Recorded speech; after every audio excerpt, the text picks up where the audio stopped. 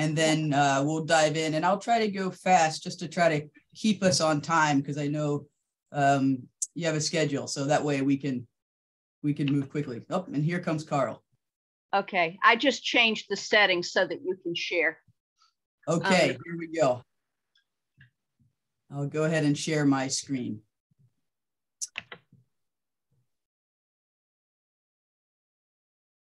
Okay. Just one moment while I grab the sure right I'm, screen. Listen, I'm sorry that I got cut off. I'm gonna just jump in while while I'm still with you, and I hope I'm gonna stay with you. Just to say that, just to say that uh, Smiley is co-author of this wonderful book, The Future We Need, uh, which I was lucky enough to be the editor on, the, the outside editor who helped Smiley and her co-author Sarita Gupta pull this book together.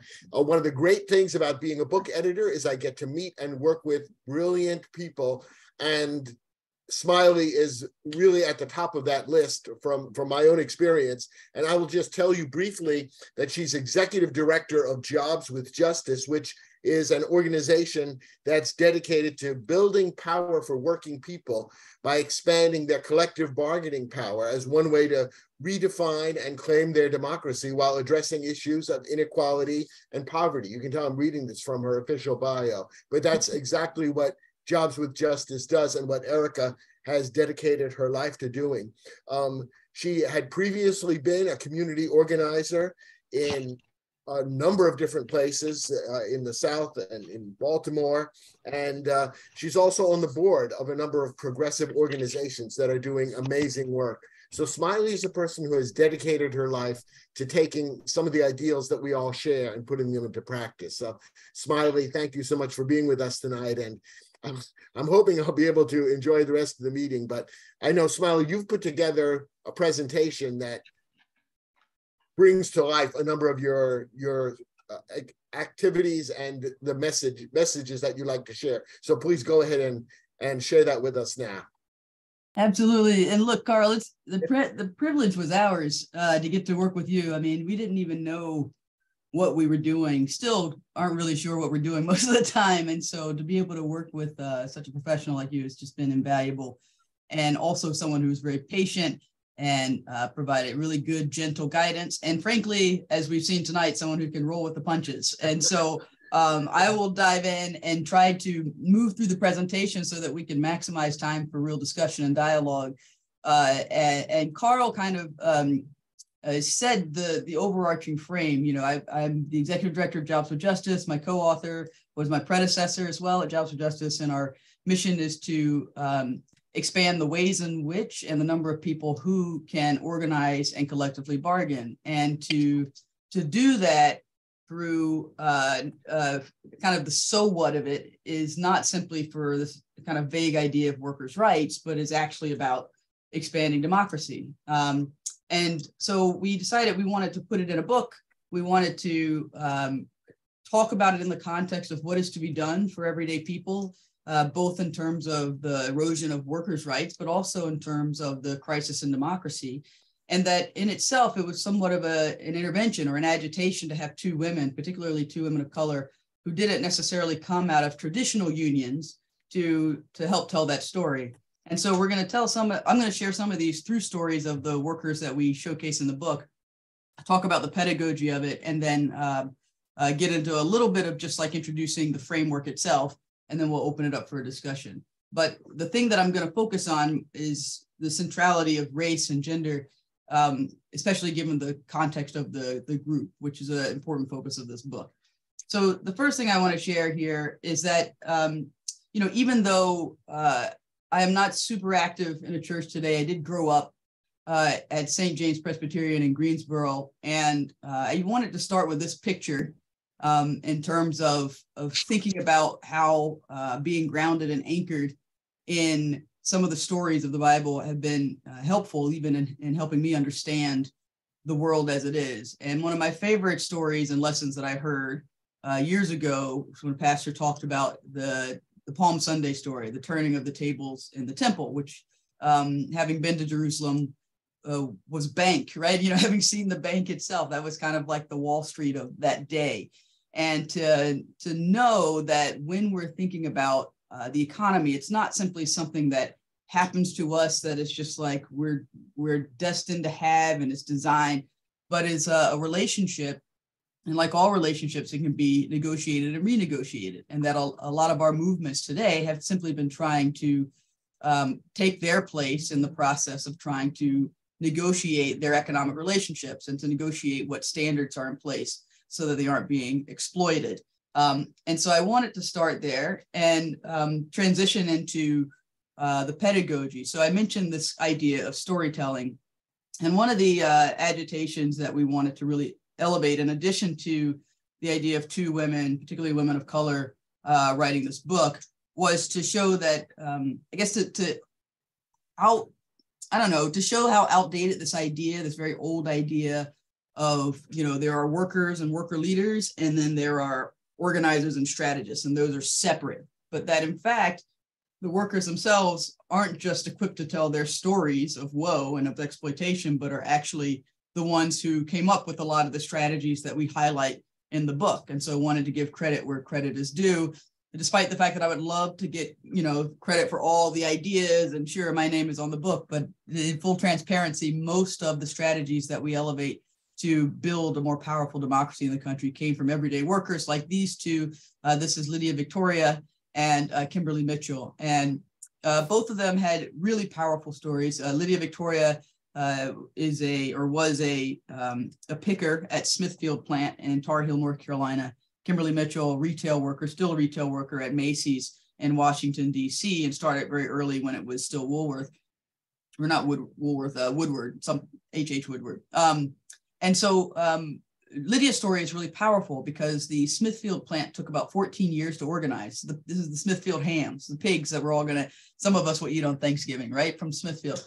And um, it took them 14 years, three elections, and they lost. And they had, you know, the, the company had done so many different things to keep them from winning. They uh, deport, had mass deportation. And that's one of the stories that Lydia tells in the book, where they literally took 26 people and never saw them again um, and their families didn't know where they were. They didn't pick up the kids that day. And that was one effort to break the union. They uh, they they divided workers based on their race on the floor. And so Lydia, who was uh, from the Dominican Republic and spoke Spanish, uh, was kind of like able to, to cross different sections of the floor to speak with the mostly Mexican population that was in one part of the plant, as well as say the black population that was on the slaughter floor, the kill floor, and uh, the native population. And then the white workers were often the mechanics, the, the, repair folks.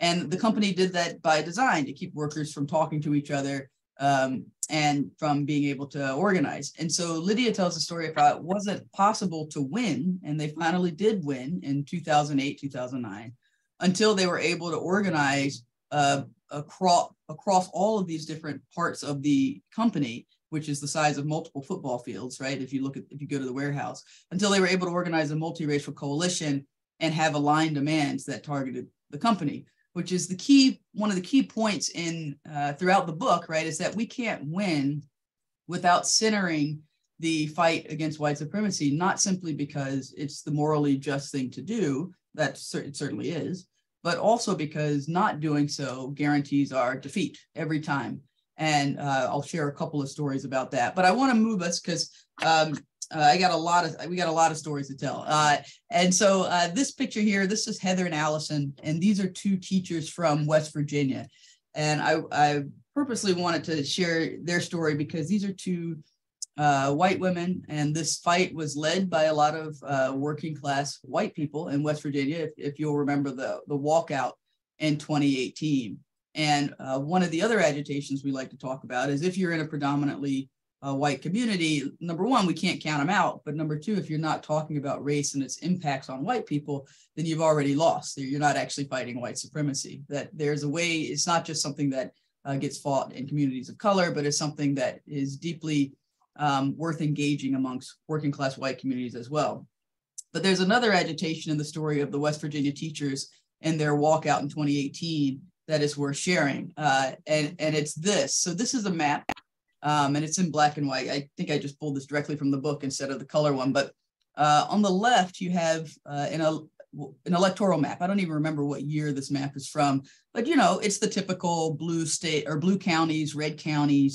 Um, you know, a lot of times uh, organizers, strategists, uh, movement people, progressive activists will look at a map like this and then make a decision about where the terrain is friendly for organizing. And so, of course, where that county maybe voted for Democrats, people would feel like, you know, is more inclined to progressive values, is more inclined to act and to jump.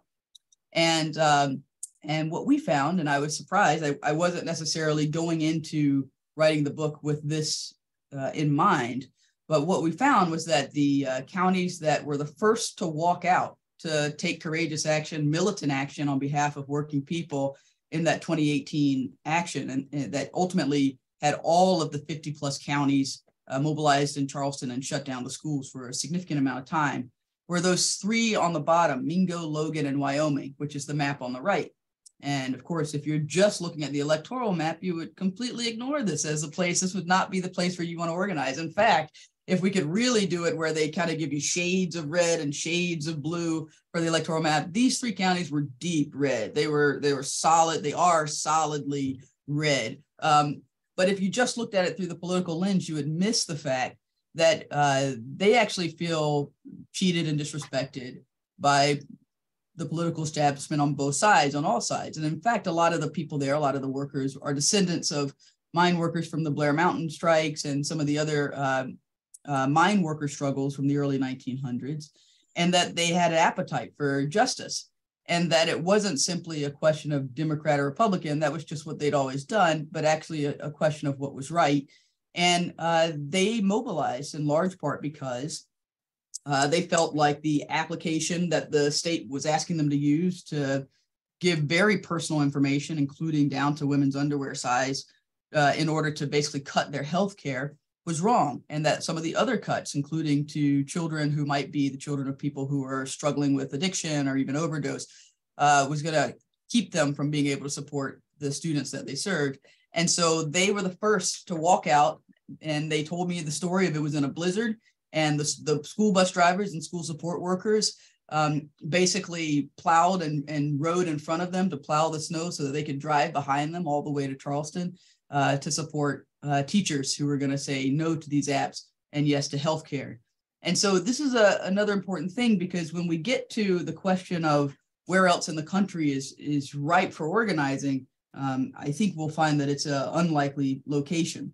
But um, the one thing that I want to create as an overarching framework, um, because we're talking about labor, we're talking about organizing collective bargaining, but really what we're talking about is democracy and that uh, we've had a, a, practice in this country or culture of thinking about democracy almost exclusively as a political thing, as a legislative thing.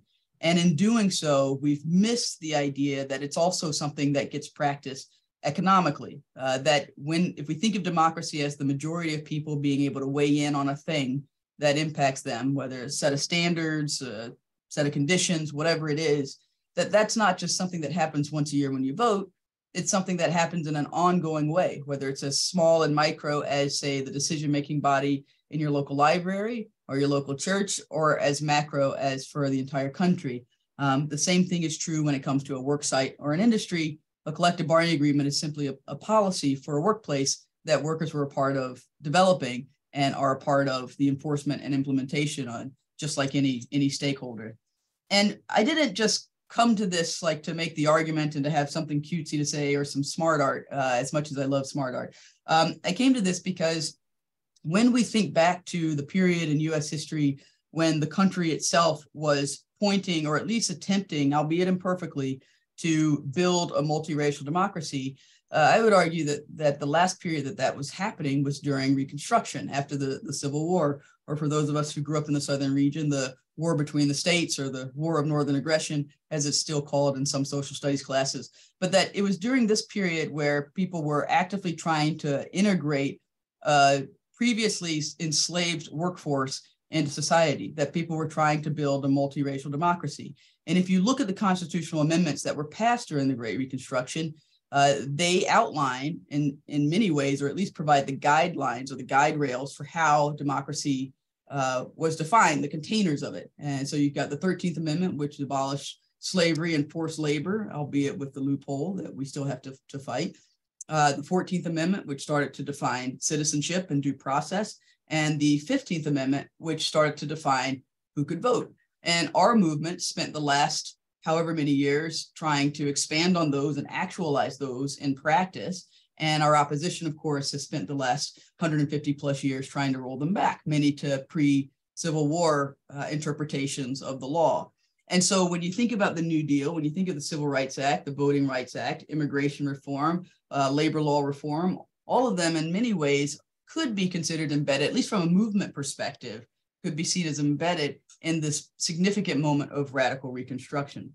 And so, through that lens of democracy, if we think about it more broadly than just a political map, which is what we have on the left, and think about it more about how people currently relate or have been able to relate to 20th century or the current predominant forms for practicing and exercising democracy, say places where people can still elect leaders based on their values without it being gerrymandered or without, you know, um, disproportionate uh, power in the hands of a select few, or places where people can still win a union using the the platform outlined by the National Labor Relations Act and the New Deal, then that's great. These are the places that are in dark blue.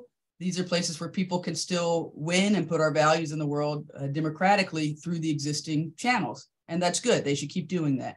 Whereas in other places like the gray states, these are places that recently lost access. Maybe they're just beginning to see more and more gerrymandering where their political infrastructure is becoming more controlled by a minority as opposed to a majority. Or perhaps they just recently lost uh, collective bargaining rights and collective bargaining power in the last uh, wave with like the the Scott Walkers and the you know the Koch brother folks around uh, around the Midwest and the Great Lakes who who did that big sweep in the last um, decade, right? And so they they recently experienced harm and they're really mad about it, right? So we can't just go in there saying, all right, you know, let's try something new. They they had some success with what the old way of doing things, and they lost it, and we have to really address that harm. Um, it doesn't mean they're unorganizable. It just means that uh, we have to approach them through that lens.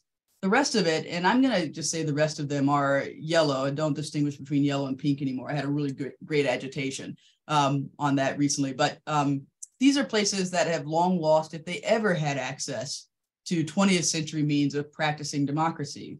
The minority has ruled for a long time. In my home state, in particular, there was a moment when uh, uh, the 30% of the state was uh, population was black, uh, and they were all gerrymandered into these five very weird dragon-looking districts. Right? Uh, they've never needed a majority to rule there. Uh, collective bargaining rights are legal for public sector workers um, and have long been. But the interesting thing about these states is not so much that we can't win there; they are lost. The interesting thing about these states is that people perhaps have an appetite for something even better than what we've had for the last hundred hundred years or so. That perhaps the New Deal cut them out from jump if you were a domestic worker or a farm worker. And instead of trying to just get a new New Deal, perhaps you want to finally actualize or realize the promise of the Great Reconstruction and build new structures and new frameworks that work for all of us. And so this is really important, particularly when we think about big fights like um, Amazon, right? Or, or uh, the auto workers have bargaining coming up in the coming period, right? Because uh, when people are like, well, what would it look like to negotiate with Amazon? I was like, well, the law wasn't built for Amazon. Amazon wasn't around in 1935. So which among us is going to be the Frances Perkins to build a new framework for people to collectively negotiate with a company that looks very different than what we had back then, right? So, um, so this is how we're centering this question of democracy. So a couple of stories, right? So um, on the uh, slide here, uh, what you've got on the uh, right is from the 1935 uh, fight at General Motors. And this was a moment when the United Auto Workers had been fairly segregated, mostly predominantly white, uh, wasn't representing the Black workers who were in much dirtier positions, lesser paid positions within the company.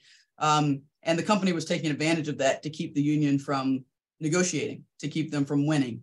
Um, and so it wasn't until Black workers were able to convince the UAW to not only integrate the union, but to hire Black organizers to engage in the issues of Black people in the plant, that they were able to get the, the company to the table and, uh, and of course, win what ultimately became the framework for how we think about organizing and collective bargaining today.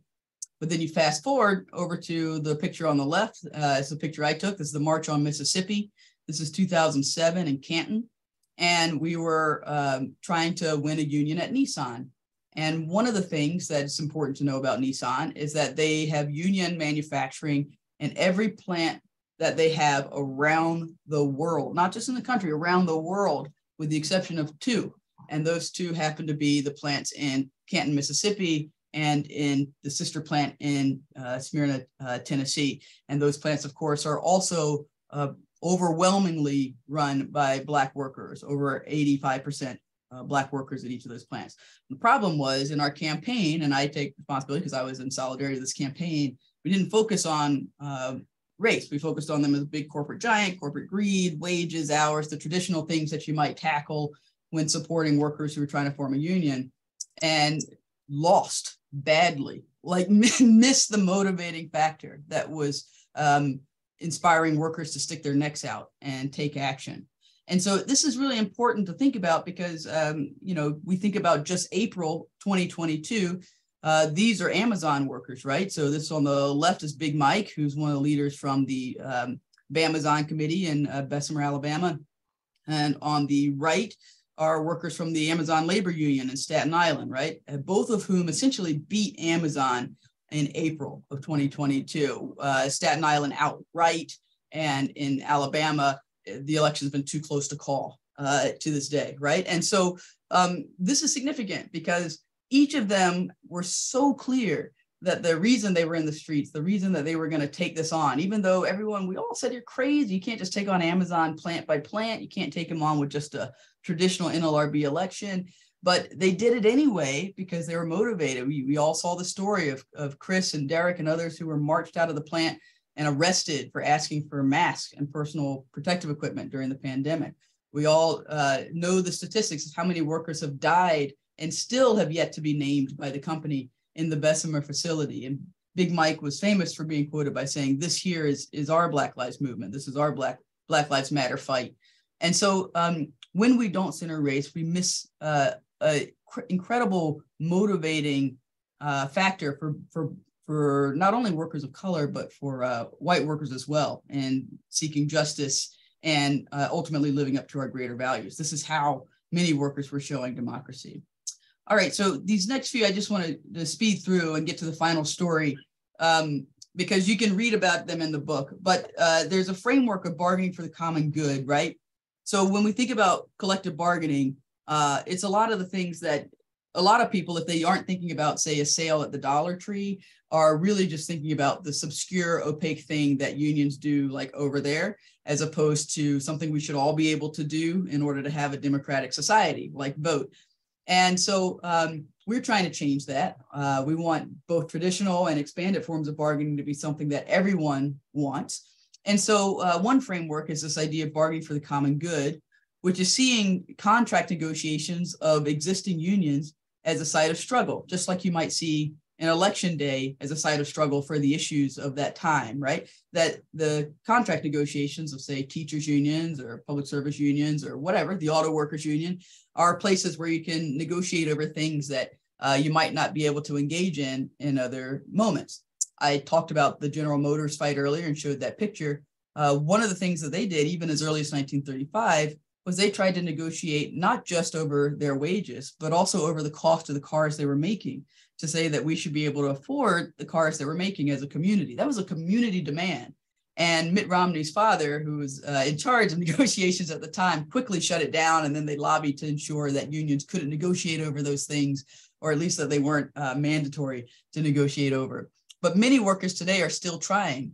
And in fact, teachers uh, who tend to be the most, uh, I think, visible on this strategy, and this is a picture from New York, but uh, uh, teachers, actually, this is a picture, sorry, from Twin Cities, that's MFT, um, have been doing this for a while. Uh, I think the most famous case was in Chicago, but I want to tell a story from the Twin Cities where teachers were able to not only incorporate parents and students into their bargaining committee with the school system, but they were able to negotiate with the state that police can't co- cooperate with ICE uh, during the school year.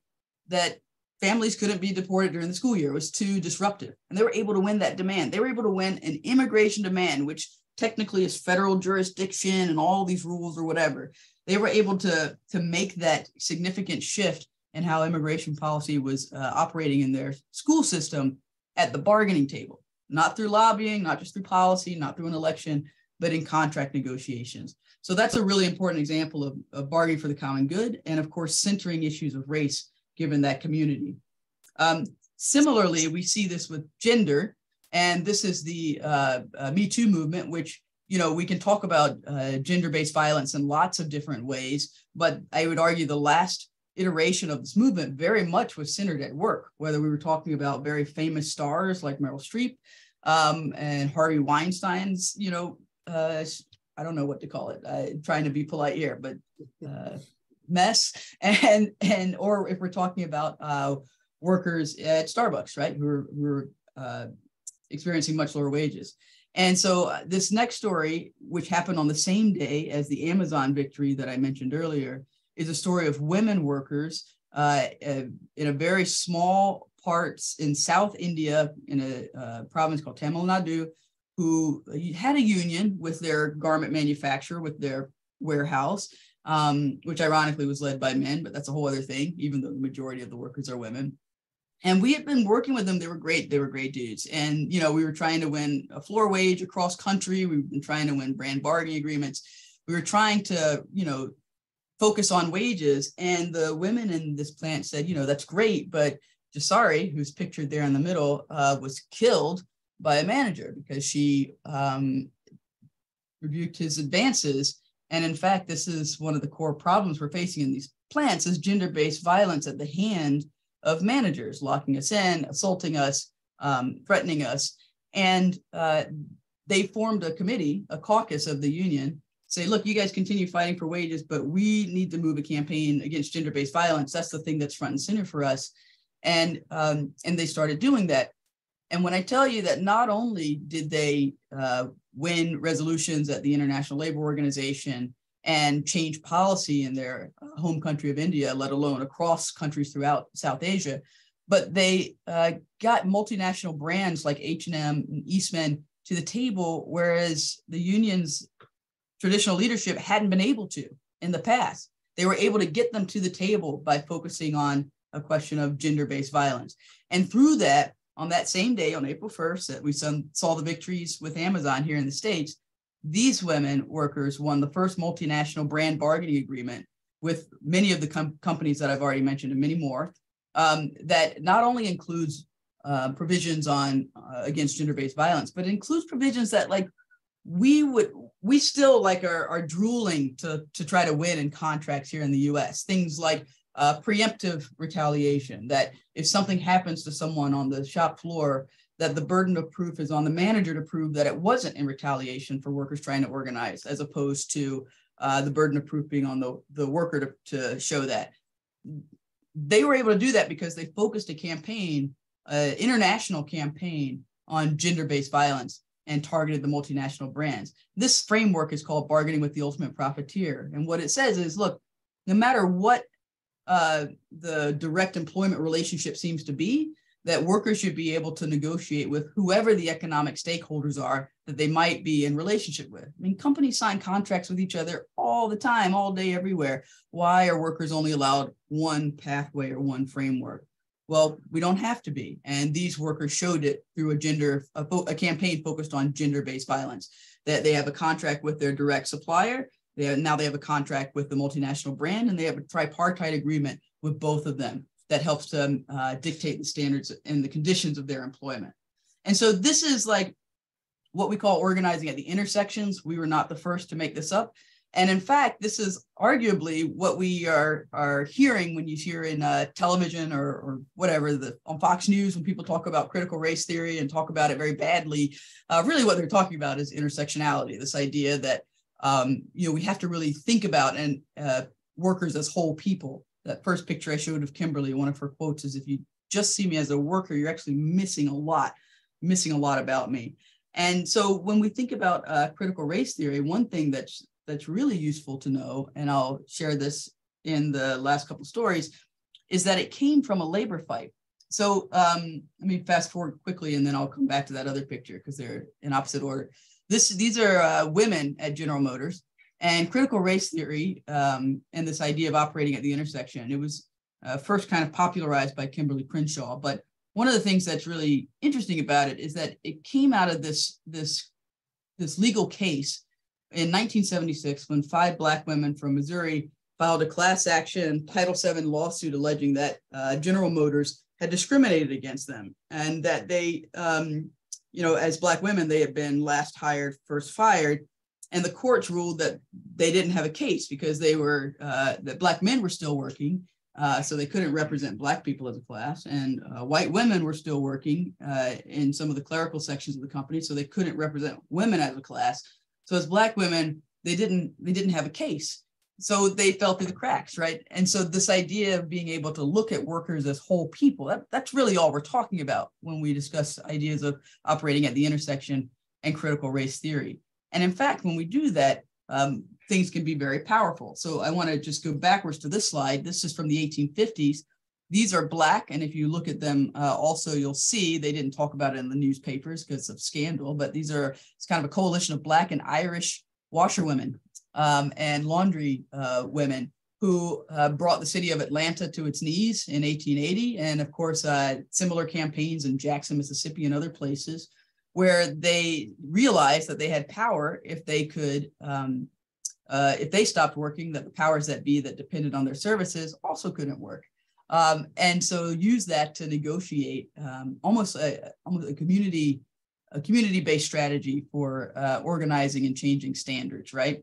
Um, and so I want to mention that because these at the time, and, and Danielle Phillips Cunningham has a great book on this that I I cited, but would really encourage everyone to read about uh, how Black and Irish women ultimately had to operate at the intersections, the um, racism that they experienced, and the fact that women were often, it was safer for them to try to negotiate better standards than men who could be murdered for um, assumed, other assumed advances and, and all of these things. And so um, really interesting story here about how um, operating at the intersection and organizing outside of the traditional framework of, of organizing collective bargaining um, still got the goods. And for Black women throughout the South in the 1880s. Um, so I like to think that I'm a, descendant of those movement ancestors. Uh, fast forward to domestic workers of today, who are still predominantly women of color, mostly migrant women these days from uh, Latin America, Philippines, uh, from Asia. Um, so women, because of that, the, the actions of, of these women in the 1880s, they were excluded. And that was a part of the deal that was cut during the New Deal, the deal with the Dixiecrats to exclude um, uh, domestic workers and uh, farm workers in large part because they were seen as a threat. They would unionize. You can have these formerly enslaved workers unionize. What is that about? That's not that's not just. And so they were excluded from the traditional framework for organizing.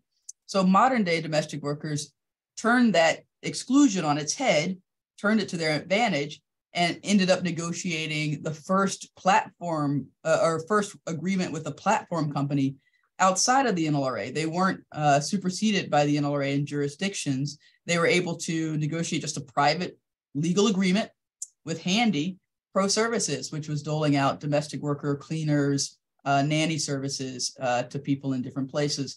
And I love this, this example, the fact that they actually won the equivalent of a collective bargaining agreement through a private contract uh, because of the exclusion. And it's a gig worker victory. It's something when we think of gig workers, platform workers, you think of Uber and TaskRabbit and DoorDash.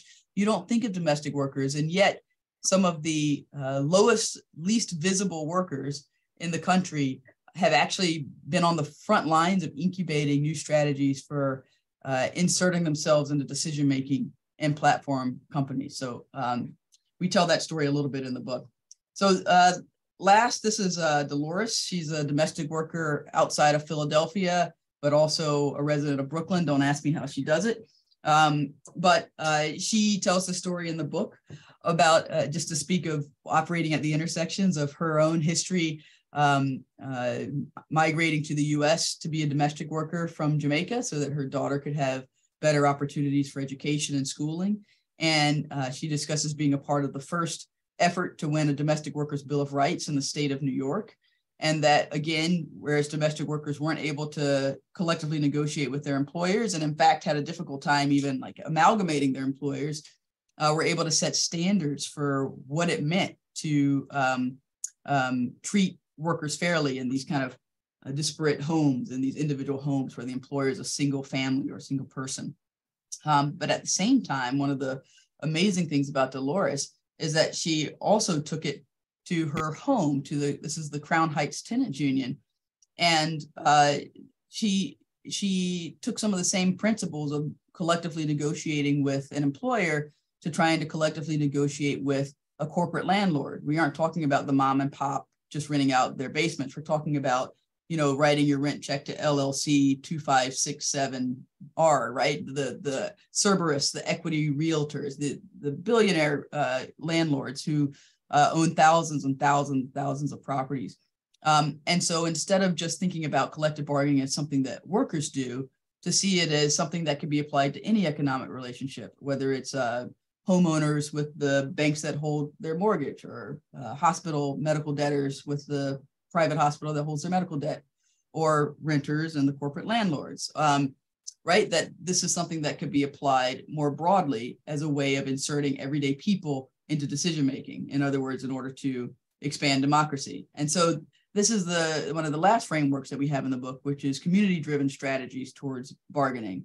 And again, all of this with an eye towards building towards an economic democracy, not just for workers' rights, not just for tenants' rights, but actually thinking about what it means to include the majority of humans in decisions that impact us in our everyday lives. And of course, in the process, um, in order to, to do it, in order to win, that we center race and gender. Um, the uh, the last thing I just want to say here, and I, I say this because my co-author would it remind me to say it, and it's really important to say, is that um, you know, there's a we like to say the so what, right? Like we say, you know, we want to expand organizing collective bargaining power. So what? Uh, so that workers can set decisions, set terms about their conditions. Okay, but so what? Uh, so that they can make more money and, and have more security. And so what? And and when you keep going up that ladder, um, the one thing that we want to always keep in mind here is that part of the so what is so that people can uh, live with joy and have dignified lives and that people can um, uh, work to live and not live to work. And so we partnered with Gwenn Seemel to do a lot of the paintings of the workers. I think many uh, working people haven't had to sit for a painting before, and we wanted them to know how important they were, and it wasn't just something reserved for royalty. Um, and we um, wanted to also make it really colorful. If you look at a lot of labor books, they're kind of uh, droll, bless their hearts. Your black and white pictures, and you know some big strong man with a hammer or whatever. Uh, we wanted it to look more vibrant, like the modern day workforce as it is, and to um, really reinsert this goal of joy and uh, dignified lives into the into the fight. So I will stop there. I'm sure I went way over. I'm a Southerner, I can't help it, but I'm going to pass it over to Carl to help take us through the next phase. Smiley, thank you so much. Um, and I'm sorry I keep dropping out. It's it's been terribly frustrating for me to be dependent on the um, on the Wi-Fi provided by the uh, by the by the hotel. I, I I'm guessing they're probably some sort of uh, uh, corporate conglomerate which perhaps has an interest in shutting down my participation in the meeting, but but I, I won't go there. Um, Janice, I think you've been collecting some questions from chat. I know I put a couple in there. Yes. Others uh, and others from the group may have questions.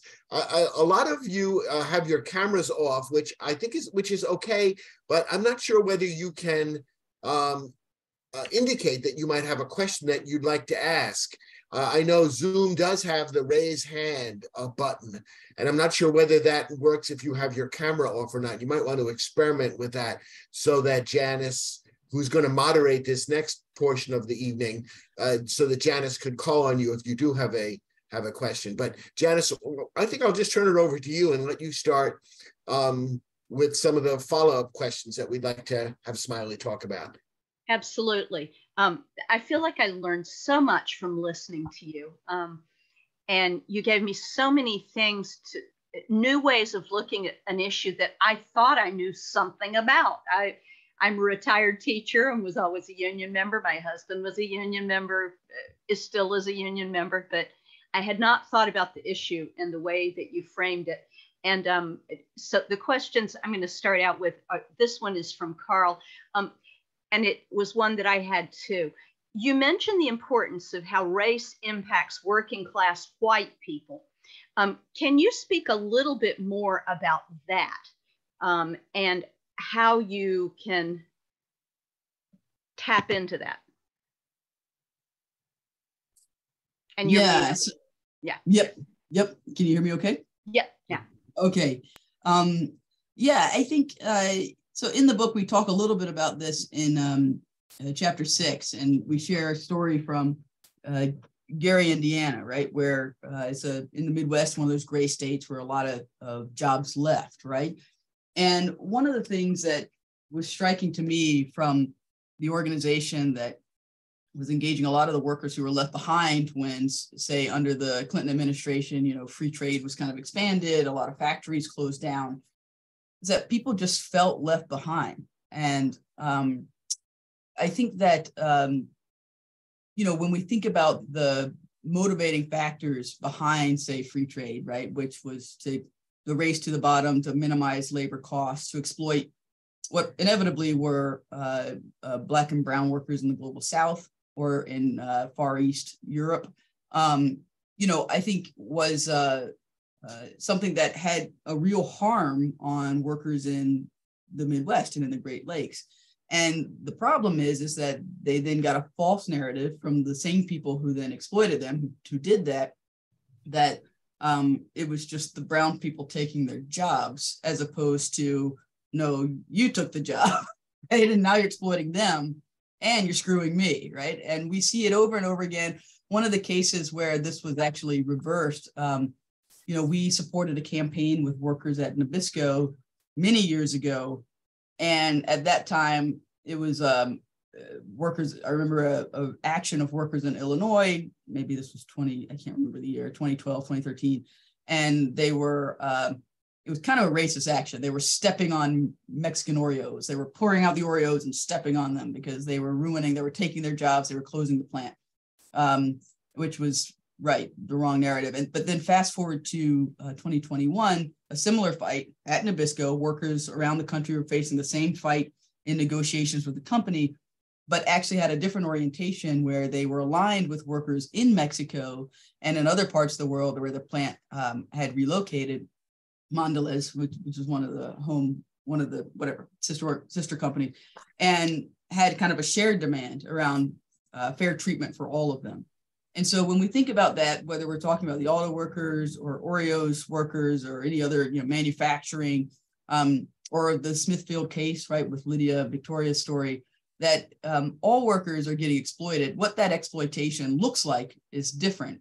Um, so you know, I might have lost the job you might now have a job but it's paying like crap wages uh, you you know this other person is now in jail working for free because of the loophole in the 13th amendment right? Like but we don't actually see that there's still a person or a set of people who are ultimately benefiting from all of us. And so uh, in that sense white supremacy hurts white people too. And if we aren't clear if we're just uh, caught up in the narrative that it's uh, that other community's fault as opposed to someone who's ultimately exploiting all of us, then you're never going to actually see the uh, real fight for freedom, mm-hmm. right. the real solutions that would liberate us all. Yeah. The flip side of that, which is important to share, and I actually shared this story in the um, class I did with Spelman yesterday, is that for communities of color, sometimes we get so caught up in the fight for equity that we actually we don't see that the thing we're trying to get equal access to is itself really broken and I've gotten the chance to see that here in southeastern New Jersey. I live in a Ocean County. If any of you know New Jersey, it's very uh, it's very white. It's the place that everyone ran to uh, as the cities change. And don't get me started. Just wanted to stay married, and here we are. But um, but it's but it's lovely. And what's really interesting about it, my my wife came. She's of Slovakian descent, and uh, decided to come back home and organize her community after Sandy because she saw the direction it was going and it was about to be uh, not only turned into a playground for the rich, but also was going to further embed um, an already conservative working class population um, against people who should they should be aligned with in their shared interests. And what I've seen over the last uh, 10 or so years that she's been doing this is a transformation in some really unlikely places where, for example, they started out around disaster recovery and storms, but um, ended up taking on issues of addiction, social security, other things. And uh, there are two reasons that I wanted to share this story. The first one is that uh, one member, Joe Kars, is a retired disabled pipe fitter who uh, is not politically correct in any scope of the imagination um, at all, ever. Um, she, he is struggling with disability and services, and she took him up to a meeting, uh, I think in New York, where a national organization was was doing a meeting of people who were fighting for fair Social Security. He got to interact with other people, particularly Black people, uh, Latinx workers who were screwed, who were in an equity fight around Social Security, realized that he had a shared struggle. And, you know, I won't pretend that I would have been okay in the debrief on their ride home from New York. I think I would have been highly triggered. So I'm really glad she's doing this work.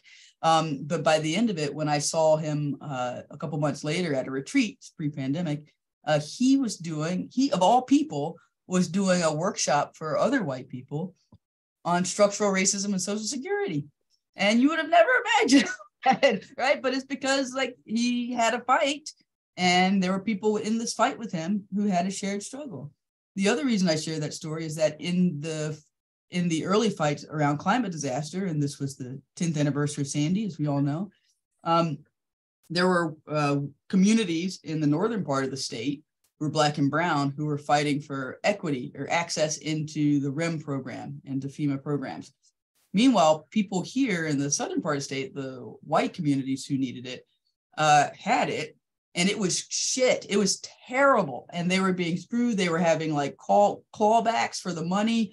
I'm sorry, I, I curse. So I know we're a faith group, so I'll work on that. But we had, they were getting their money demanded back. Contractors were screwing them, leaving their houses just like on brick on blocks, and um, and so there was a moment when they started coming together and, um, and what was interesting, and it, it, set the term for them to be able to fight around Ida uh, this last year together. But there was a moment when they came together because they were like, you know, you guys are fighting for equity into this program that is terrible. We need a new program. Like we need the program to be equal, but we need a whole new, we have a shared fight to have a different program to ensure that funds go where they need to for relief for those of us who are the victims of disaster recovery. And so when we think about white supremacy, this is why I say like it, it impacts white people too. And if you're in a predominantly white place, but aren't talking about race through the lens of the uh, self-interest and the issues of the people there, you're missing a huge opportunity. Um, the last thing I'll say on this point, clearly I have a lot to say on this point, but the last thing I'll say about it, especially because um, because we're in a community of faith, right, is that one of the most important things for us to remember, even when we're really frustrated uh, especially when we're faced with the crazy side of things, uh, is to try to, we have to really fight to remember everyone's um, deep ability to transform and to be resilient, right? That there's always a shot at transformation. And so anytime I'm facing someone who feels like, you know, they're QAnon, brainwashed, whatever, I think about Joe Cars and how uh, even to this day he doesn't say the right things most of the time, but he does the right things because of uh, his ability to transform in spaces where uh, he sees his shared interests. And so um, I'll leave it there and pass it back to you. Okay. I'll try to be briefer with the other questions. I promise. That's okay. Um, and this is probably a similar situation, but I was particularly struck by the two maps you showed in West Virginia mm-hmm. um, of the Republican counties and the and then the area where you were able to organize. Um, how in the world w- did that happen? How were the teachers in that dark red area able to organize? Because you would think that the conservative politics in that region would have presented such a challenge to them. Um, it seems like you know they would have come home in their own, you know, to make a sexist guess, the women would have come home and their husbands would have said, "Don't organize." You know, labor unions are horrible. How did it go down? well, tell me what what you mean by that. Like, um, so you the assumption here here is that um like you said the women would have come home and their husbands would have said don't don't organize don't do that so Right. the assumption because like when we think about um and we say this in our training at jobs with just a lot of times when we think about the skills and tactics of organizing when we think about power when we think about money all of those things on their own are neutral. Anybody can use them, regardless of politics. I mean, we saw it on January 6th, right? We won't even get started. I mean, some of those tactics climbing up the wall were Greenpeace tactics, bless their hearts. I mean, I was kind of like, you could also just walk up the stairs, but whatever, that was a whole other thing. And so um, I think that these are communities that understood the tactics of organizing. Again, these are like descendants of Blair Mountain struggles, of mine, big mine worker struggles. Right. They know they they know what the the police or the Pinkertons did to their great grandpas and their and their uncles, right? Uh, so they they already have a distrust in that way. Um, I think the other thing that's important, or at least was important for me to understand about those areas, is that the uh, conservative politics are not uniform. Uh, and so, you know, when we think about, and I'm still trying to understand it myself, so let me not pretend to be the expert on this. Um, but you know, one of the things that I've learned from some of my own mentors is to really be able to distinguish between, uh, say, the religious right and the evan- evangelical right versus, say, even the Catholic right, or um, the religious right in general versus, say, the radical libertarian right, with like the Koch brothers, the people who actually are very clear democracy is their enemy, and bless their hearts. Um, and then the um, what we're seeing now, and what what received a lot of power, unexpected power under Trump, is the uh, right wing populist, right? This idea of um, screw them all. Like we're just gonna throw, we're you know they've all messed with us, you know, and, and I think the those three counties were of that breed, right? So if you think about it, they're like we were screwed by the Democrats when they you know took the hospitals that the mine workers built. We were screwed, you know, by the Republicans over and over again with the state forget them all. We're just going to throw whatever monkey wrench in that's going to disrupt things and see what happens. So you think of that mindset. So, you know, you, you think about the context that they're operating in, they're being asked to share personal information on an app on their phones and, and so that the state can cut their health care. In that sense, it's like, oh, well, it's a no brainer. They just know they're getting screwed again by the powers that be. And not only did their the husbands tell them not to go, but they drove the buses and plowed the way for them to drive through uh, all the way to Charleston. So that's the um, that's the interesting uh, framework to think about um, the nuance of of working people as whole people and to not right. group them all together. And the same is true, Janice, when it comes to um, uh, communities of color. And this this last election, not just the midterms, but the the local elections that we saw earlier in the year for district attorneys and things like that, you know, we had a situation where many in the movement for Black Lives assumed that everyone was going to be with them, right? But we actually saw a defeat of progressive DAs and progressive leaders because a lot of the the black and brown grandmothers came out and were like, look, crime is up though. And I just saw six people shot last month. So what are we doing? you know, all of a sudden they're tough on crime, right? And so there's a if we aren't paying attention to those intersections, we will lose every single time. And that's that's not to say that the that they were right in wanting to be tough on crime, but it's also they weren't wrong to be Right. worried, right? And Right, so that right. there's a there's a nuance there. That's that's an argument I certainly hear in Atlanta right now. Um, I- Mm. talk about the word agitation. Um, What does it mean to you, and what kinds of agitation are righteous? righteous agitation.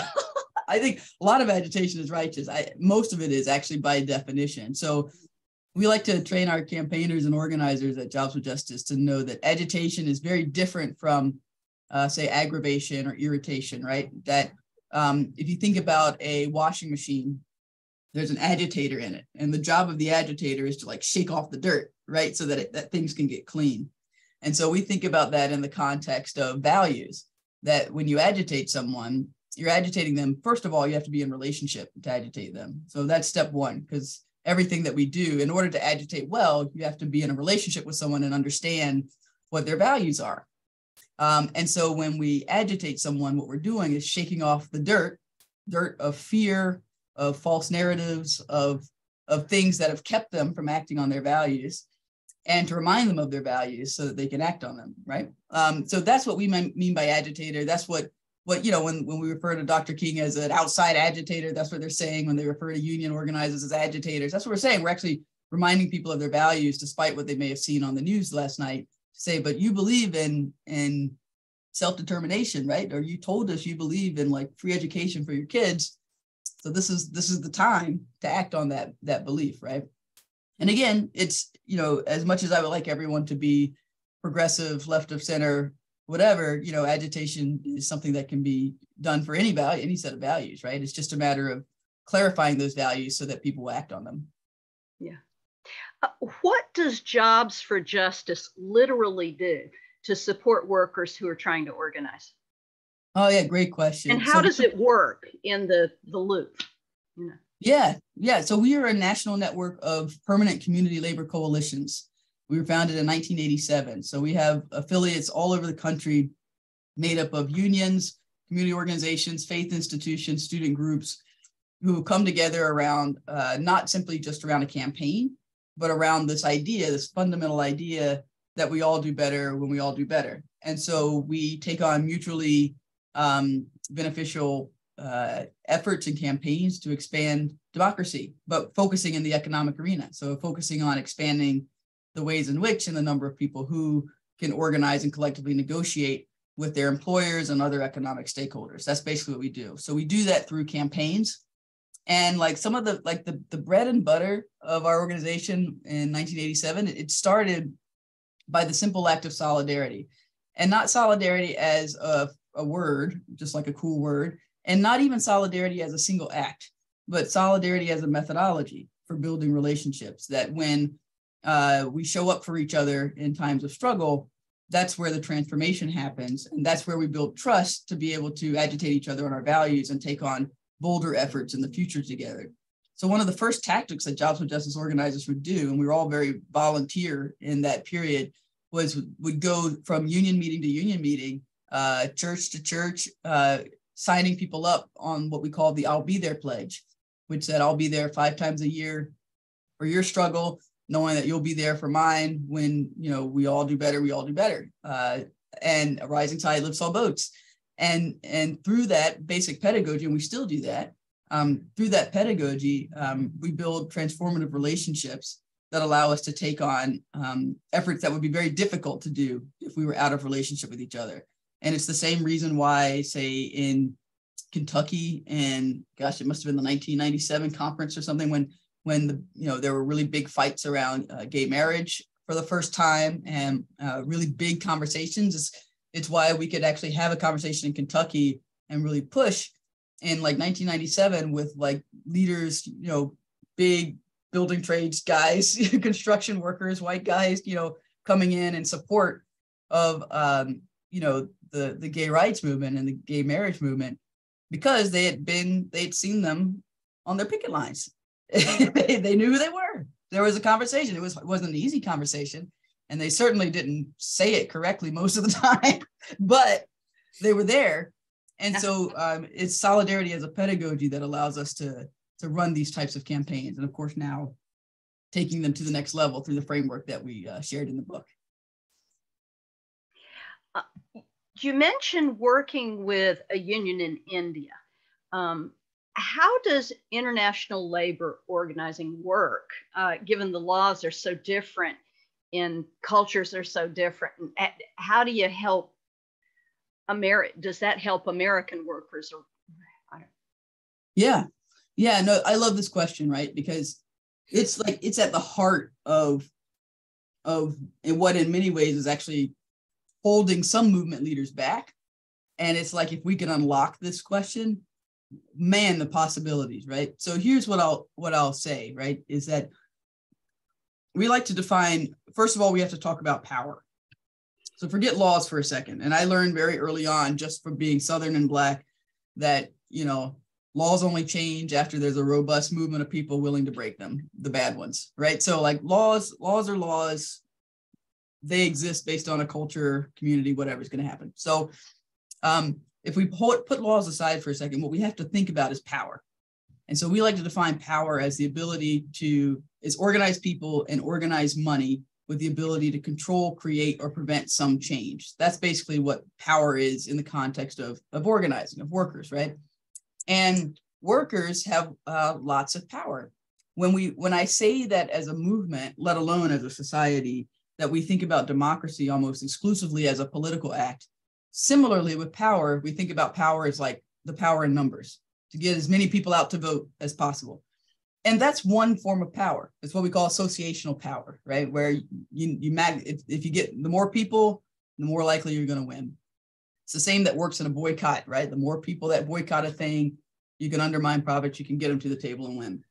Um, but labor and workers, or frankly, people in any economic relationship, have other forms of power too, or they have structural power. And um, Beverly uh, uh, Beverly Silver, who I cite in the book, um, lists uh, defines these in two categories. Uh, the first one is uh, productive power, the power to stop production, where you don't actually need a lot of people. You just need very strategically placed people. And I like to quote uh, what I learned very early about the, the word sabotage is a French word, right? A sabot, a sabot. So I can't say it. I always sound crazy when I try to speak French. Sabon, it's like a shoe, right? And and the sabotage came from a very strategically placed French cobbler uh, throwing that sabon into the machine and stopping it, right? Um, that's productive power, right? And so auto workers, manufacturing, they stop the line, they slow things down. Uh, that's productive power. You could think about that in the context of the big data clouds.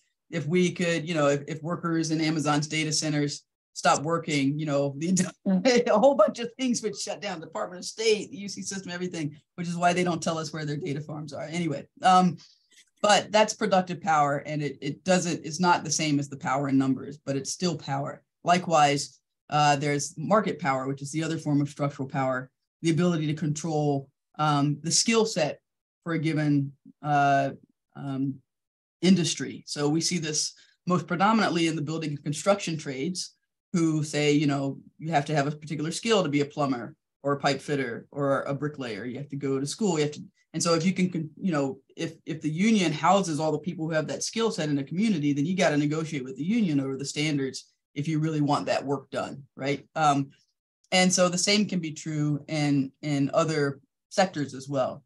So the, the key thing to note here is like regardless of the law, power is always there. It's just a question of if we're organizing based on the right form of power that workers in that community have. So one great modern example is around climate change and uh, particularly where I am, right, there's a big fight around offshore wind. And one of the things that you know we all we wanted, most of us wanted, some people we won't start with them, but, but most of us wanted, but there was a tension with the union at one point with the IBEW, the electrical workers. And they were they were pissed because the um, the ways that the the solar was going to be built, not only were they going to bring in um, a French company to build it as opposed to using yeah. American workers, um, but then when it came to the other part of the project, which was trying to invest in solar for a lot of the residential places, it was very modular. It was like installing cable as opposed to like the skilled craft that so many electricians had were proud of, that it wasn't just like piecing together some Legos. Um, but here's the thing, they they changed their their position because well, one, they they were able to to get local hire, right? So they're now building a development training center in Atlantic City for American workers to have those jobs, even though we're working with the French companies. But they also saw that even though they lost some of the market based power in trying to build solar panels so that the companies didn't have to go through the union hiring hall to get electricians, they could just train them on this modular thing. They did gain productive power because now the workers who are installing solar panels, if they stop installing, you uh, know, you could stop a lot, you create a lot of problems. Right. And and we saw this in the, with the postal union in the 70s and 80s. Like they when the machines, the sorting machines came in, okay, they lost the, the control of that very unique skill of being able to quickly sort mail, but they gained the control to stop a machine, which is a, which is also significant as we saw in in 20 whatever it was. Uh, I think it was 2020. Um, which was not worker led, but nevertheless, we saw the, the power that it that it had. So all that is to say, when we think about these communities that may have uh, disproportionately bad laws, um, it's important to think about the washerwomen of the 1880s, right? Women who themselves maybe had been formerly enslaved or were the children of people who had been enslaved. the the laws were stacked heavily against them. They were coming out of Reconstruction, about to go deep into Jim Crow, and yet they still won. And they won because they knew what their power was. In this case, the ability they controlled a skill set that no one else wanted to do, but that the whole city was dependent on. They organized on it and brought a city to its knees. And so that's the the real story. That's the the crux of what we need movement leaders to remember when we're trying to organize to build um, um, a better democracy, to actualize our values in the world. That it's not just about the laws that are in place. It's about power, how we organize around it. Because when you do that, it doesn't matter what the law is. You can change the law. You can change it based on uh, what your demands or needs are at that moment. But if you can organize power correctly, you can do a lot of things. I've got a great question here from Steve. And Steve, are you sure you wouldn't ask it yourself?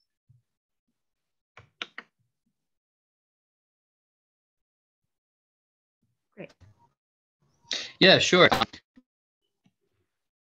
Like the thumbnail and the second part of the question, the computer serving, um, that uh, it's it's a real problem that I've found uh, in my workplace. Uh, we've been attempting to organize for a while and there are a number of very, very vocal, very active, um, but very, very young and um, I want to say not word, but um, suspicious, uh, I and sort of cancel culture kind of minded um, coworkers who have, uh, in some ways, very, very correctly placed mistrusts of uh, some of their white, you know, technical workers. Um, but words, still fail to see that their their interests do still fundamentally align. Um, and uh, what made riff having trying to stay organized and meeting up is that like the one doesn't trust the other and whenever it gets brought up it gets brought up as like a complaint management that filters back to the more privileged voters who then sort of just shut down and really don't to do with any and i'm trying to like find a way to sort of thread the needle there and ensure that everybody realizes like all right, we're all still clean and none of us owns a factory. We have no passive income rolling in. This is our job. Like, do we, you know, move forward essentially more elegant way um, without some of that stability, but not in a fake, you know, forced way, in a real, like, trusting way. So I know that's a lot and feel free to any of it that you want, but uh, I thought I might be up. Thanks, Steve. And Erica, it, Steve did put his question in the chat also if unfortunately steve your audio was going in and out a little bit yeah yeah i, I was going to say the same thing. I, I looked at the question in the chat uh, his audio is going in and out so i missed some of um Great. some of what you were saying there particularly at the end about um the more privileged piece so i didn't understand that. So if you want to add to it in the chat i'm actually really curious what you were saying there. Um, but what i will say um, both to your question in the chat and what I what I heard of your audio is that um, there's definitely, and I'm trying not to be one of those folks that makes it generational. I mean, I know there are generational trends. I'm a Gen Xer, um, so I have my own Gen X baggage, but um, um, you know, but there is a trend currently amongst um, particularly uh, staff in progressive institutions or staff in any, you know, lots of in unions and lots of these these places where, you know, they're they're woke, for lack of a better word, right? They have generally good values and like a good like belief that things could and should be better. Um, but they're kind of disenchanted uh, with what it takes to get that done and have, I think, if I understand what Steve was saying, like really have no time for what can be pretty arduous, tedious work of trying to like, you know, debrief with Joe Cars on the way back from the Social Security meeting, right? And not just write him off. Um, and I totally see it, and I see it in my own organization with my own staff. Um, I think that um, I have opinions about it, and so I'll share a little bit of that. But I want to be transparent that I'm also in active dialogue trying to figure some of it out. The one thing that I feel like I see happening is that because we um, have been in such a really tough situation for the last, um, well, actually, let me back up.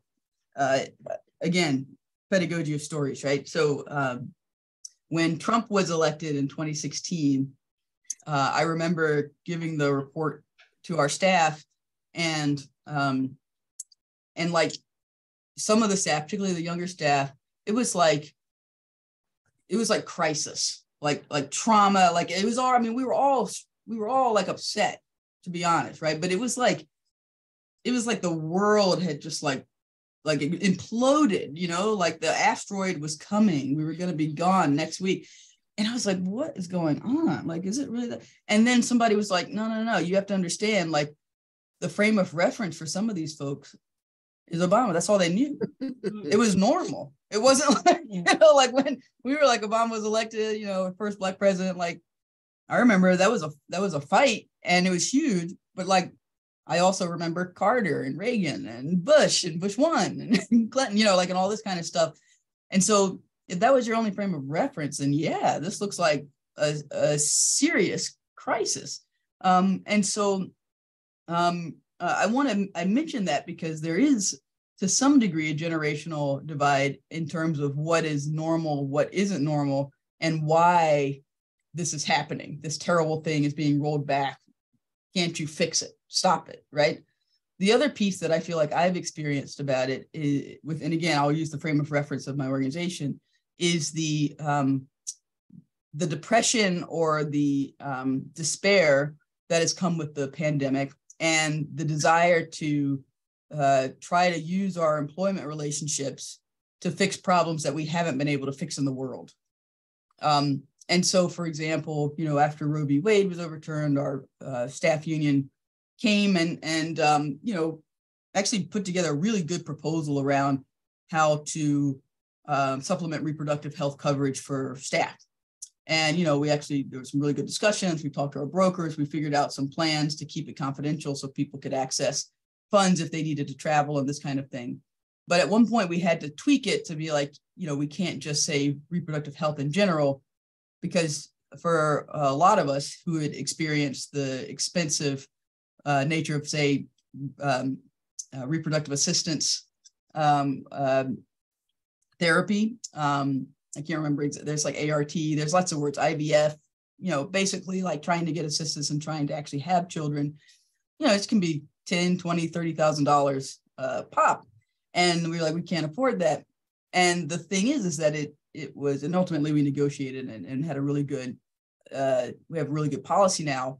But um, the what I realize is that this thing happens in the world, we can't fix it right away, right? It's not like we can go and get the Supreme Court and be like, oh, my bad, we change it back. Um, and so there's got to be some place where we can make some change that's not just right that that we have to fix it. And so it's kind of like that punch up. And I don't want to be patronizing about it, but having a, a three year old, I also see it, right? It's like, oh, well, you're right here, and I'm mad because something happened, so I'm gonna like, you know, be crazy too. It's it's kind of like the same thing within our organizations. So the last thing is, and I want to try to get to Steve's question because I feel like it was much more nuanced. It was kind of like the I like to call someone it's like the activist, right? Like I can say the right things and I know all the right things and I know the way, and you guys don't, and I don't have time for you. Um, is that there's a little bit of um, I won't say it's by age, but it is a maturity that has to come when um, uh, one of my mentors used to talk about it lovingly. Like there's a moment where we have to work to transition and support the transition of activists into organizers because organizing is so much slower. You have to meet people where they're at. You have to build relationships. You have to like have uncomfortable conversations. Like not everybody is just right from jump. And um, and also you might find that you aren't right. Surprise, that you'll learn something. And um, I'll just speak from my experience in Greensboro. I went to high school in Durham at a, at a boarding school, and then I went to college in Chapel Hill. And I remember everyone talking about, oh, that's where all the action is, you know, that's where the progressives are, and that's where the radicals are. And sure enough, like in Chapel Hill, you know, there's a rally or mobilization almost every other day, and there were activists out with their signs and that kind of thing. But it was like, you know, it was like a dime a dozen. It was like not necessarily changing anything. And then I learned that when people in my hometown of Greensboro, which I had totally poo-pooed on until you know I was in my uh, early 20s, um, that when people in Greensboro moved, things actually changed. And so it might have taken them a little longer to move, but when you think of the Woolworth sit-ins, when you think of the uh, Greensboro massacre, you know, when you think of some of the things that uh, movements do, they bring people along that you wouldn't, you know, aren't necessarily going to be the first ones to to come to the rally. The same thing certainly happens in labor. This is an organizing question, not just a democracy question. But like when we are training organizers or training worker leaders to map their workplace, right? That you know, uh, usually the loudest person, the most pro-union person, is not your is not going to be the person that's going to get everybody signed up for the union. They're great they're activists but like they aren't the people we, we say that leaders have followers. And so the job of a union organizer oftentimes is to look around and see who workers are asking what they think and what their questions are right? And it's always you know they'll be the least likely they'll, they'll be the they won't they will not be the first to sign up almost ever. And so in the book there's a story of miss betty uh, uh, betty douglas from uh, st louis who is a mcdonald's worker and I um anyway, I could talk about Miss Betty for a long time. I, I really loved my time with her. Uh, but you know, she was not with the fight for 15 at first. She was still working her drive-through. She was doing her thing. But like um uh, when she finally decided that enough was enough and she wanted to join uh, the movement of workers fighting for $15 in a union at fast food companies, uh, she brought so many people with her right? That it was a difference. And I think that if you were a young organizer or a young activist around in St. Louis at that time, you saw the difference of what it meant to engage a Miss Betty, to stay with her, to stick with it, even though she wasn't uh, with you right away, as opposed to just organizing the three or four people who were there from day one uh, and not actually getting anything done.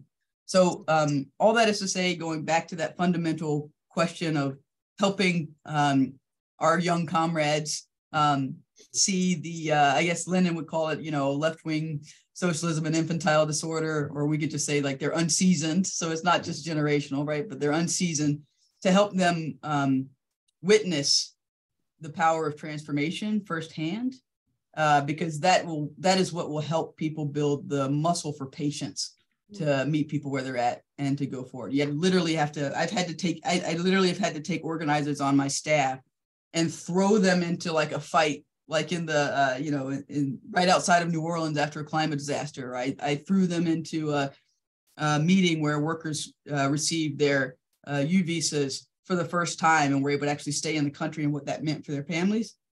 To actually see it you have to viscerally a lot of these things as adults we learn through experience you have to viscerally feel that transformation in order to then have the patience to keep fighting for it. Wow. So I'm gonna I'm gonna jump in, Janice. Yes. Uh, we're getting close to the top of the hour. We at Repair we try to respect people's time and close close down when it gets to be like nine o'clock.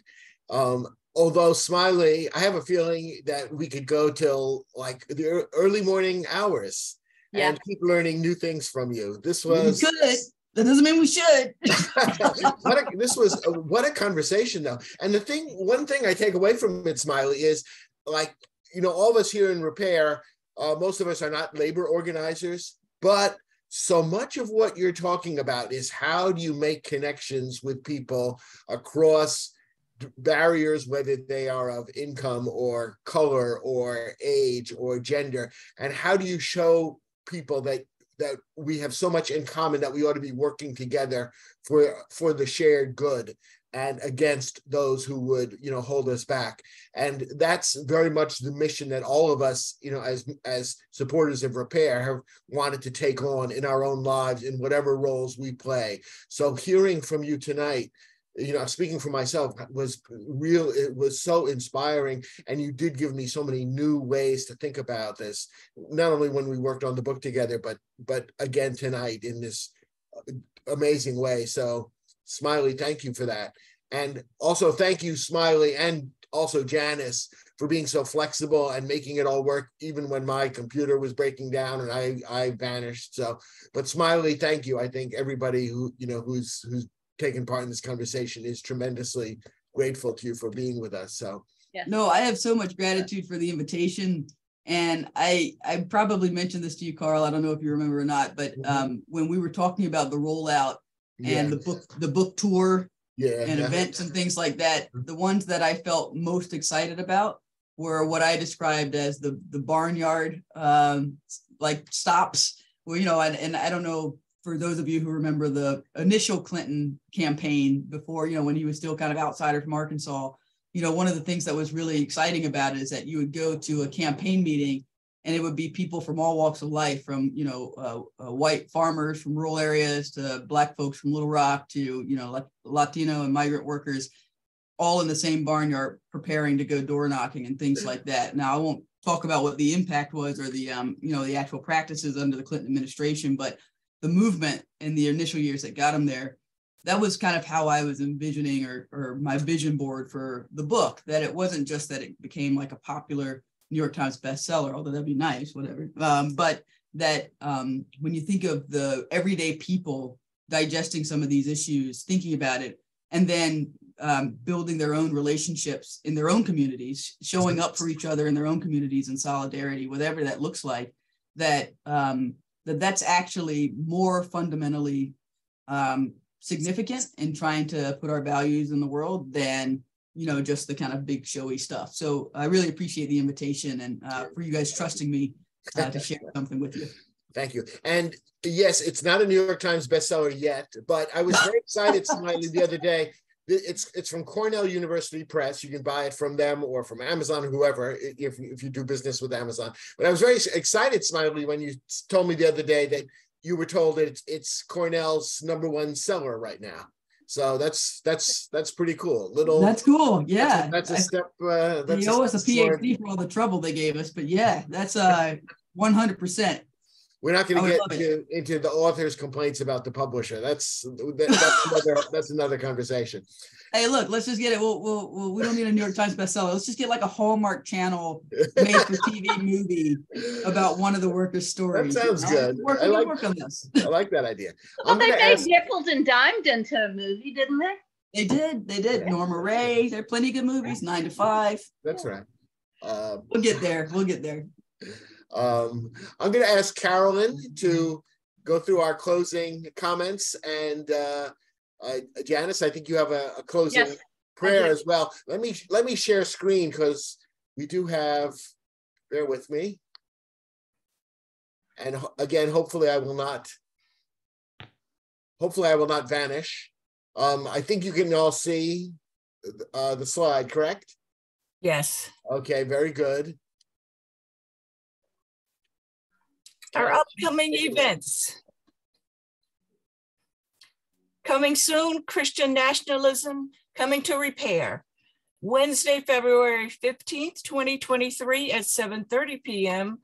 The Psychology of Christian Nationalism is the book, and it's by Reverend Pamela Cooper White. And to receive our monthly e-newsletter, send a request to info at repairrivertowns.org. And I would like to thank Erica for her wonderful presentation. It, it was just so enlightening to learn all of this information and how you go about making people do what's necessary.